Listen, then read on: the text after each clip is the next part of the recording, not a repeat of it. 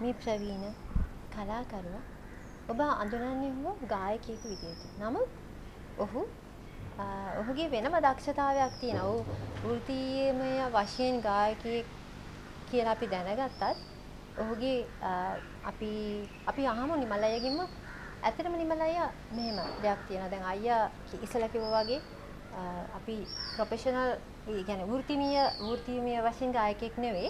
අයියගේ තව මොන හරි බිස්නස් එකක් තියෙනවා නේ. ඒ කියන්නේ ව්‍යාපාරිකයෙක්. මොන වගේ දෙයක්ද? ඒ කියන්නේ දෙකම කොහොමද බැලන්ස් එකේ කරගෙන යන්නේ? ඔව් ඇත්තම ඒක මට පැටලීමක් නෑ මොකද මං ඒ බිස්නස් උයි කලා ජීවිතේ දෙකක් පැටලව ගන්න නෑ. ඒ කාලේ වෙන් කරගෙන ඒ මගේ වැඩ කරගෙන යනවා. ඒක ඇත්තම ගැටලුවක් නැතුව නැති කාලයක් ඇවිල්ලා තියෙනවා. ඉතින් මේ ව්‍යාපාරත් හොඳ විදිහට කරගෙන කරගෙන ව්‍යාපාරය ගැන කතා කරොත් මොන වගේ ව්‍යාපාරයක්? මොනවා සම්බන්ධයෙන්ද? කියන්නේ කලාව සම්බන්ධයෙන්ද? ඊට අමතරව මම දන්නවා මොහු ප්‍රසංග වේදිකාවේ කියන්නේ ප්‍රසංග මියුසිකල් ෂෝස් සංවිධානය කරනවා. එහෙම දෙයක්ත් තියෙනවානේ.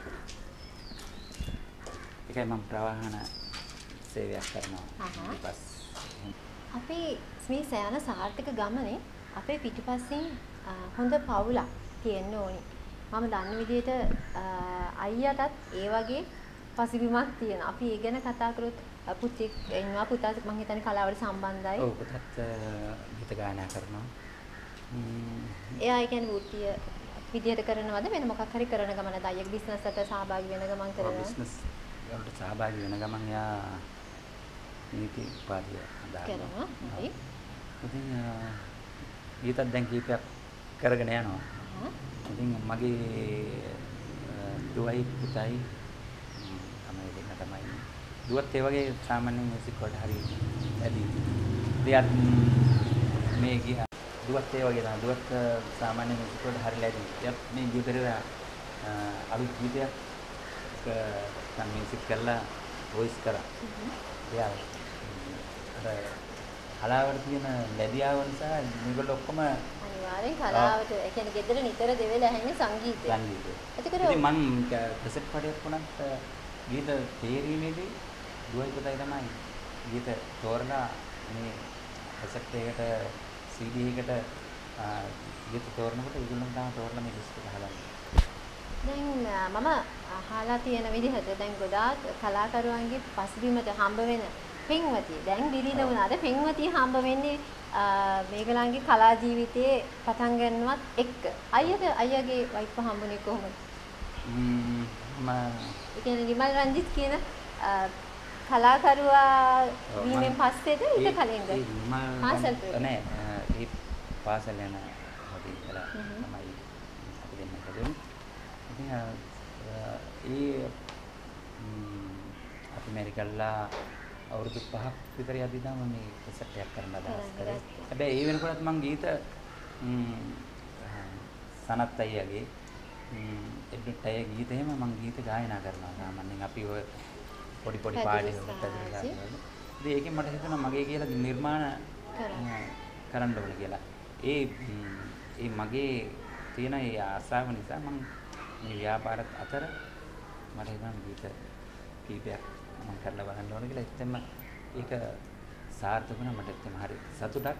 අද ජීවිත මම සංගීතවලේ මේ අද මෙතනට මේ මෙතෙක් දුරක් ඇවිත් තියෙන එක මම ගොඩාක් සතුටු වෙනවා. අයියට අයිඩියා එකක් නැද්ද?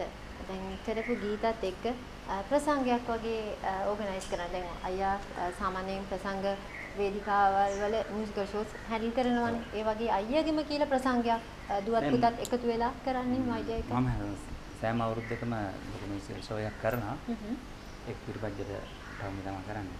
මොකද මම දැන් අවුරුදු 25 සම්පූර්ණ වෙනකොට මම බලාපොරොත්තු වෙනවා නෙළුම් බොක්නේ මගේ වෙනසක් කරන්න. එතනදී අලුත් ගීත නිර්මාණය වෙනවද? තව කියන්නේ එහෙම නැත්නම් ඔව් ඇත්තෙන්ම මගේ ගීත 100කට වැඩි ගීත ප්‍රමාණයක් තියෙනවා. තව අලුත් ගීතත් එක්ක නිර්මාණ ටිකක් එළිදක්වන්න තමයි.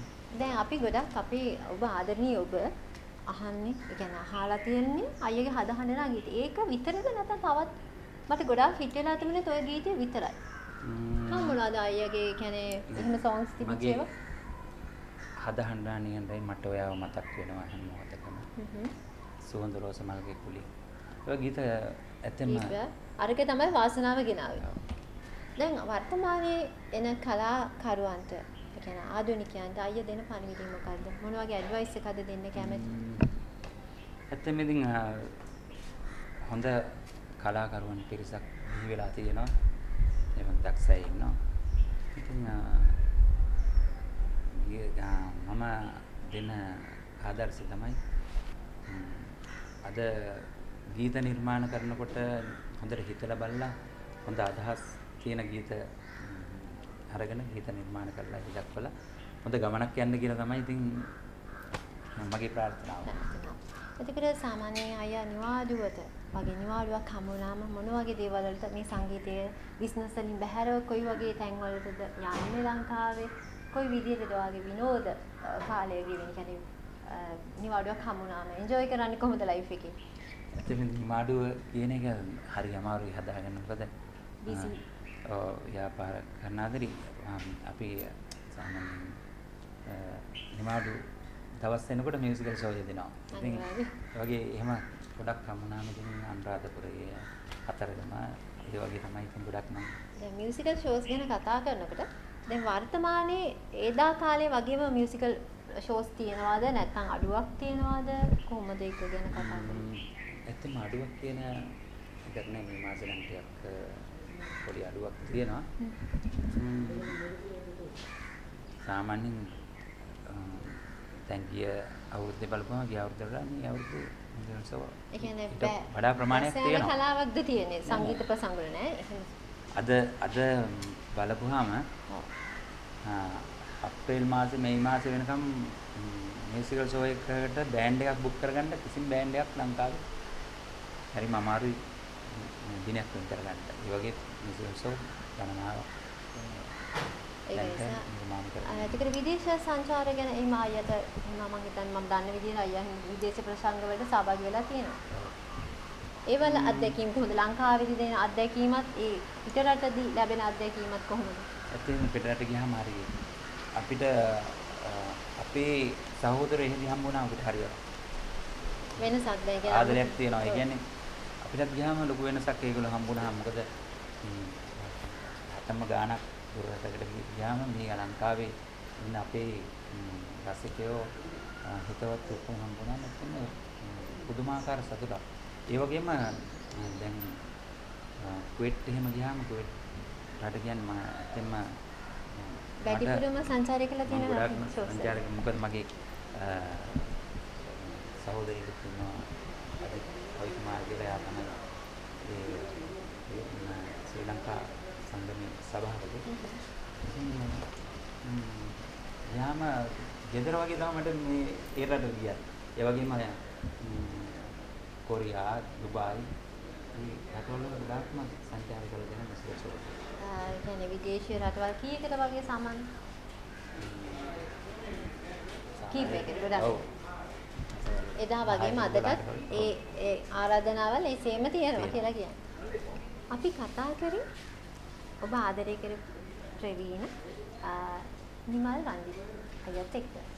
ඉතින් අද අපේ හිට් එකට සහභාගී වුණාට මම අයට තෑන්ක් කියනවා.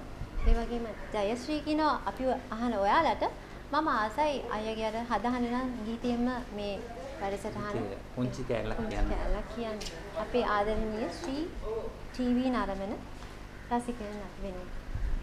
හද හඬනා නිහඬ රේ ඔබ මාහැර ගිය මොහොතේ ඇසට කඳුළු ගලනවාද මගේ තනිකම දැනෙනවාද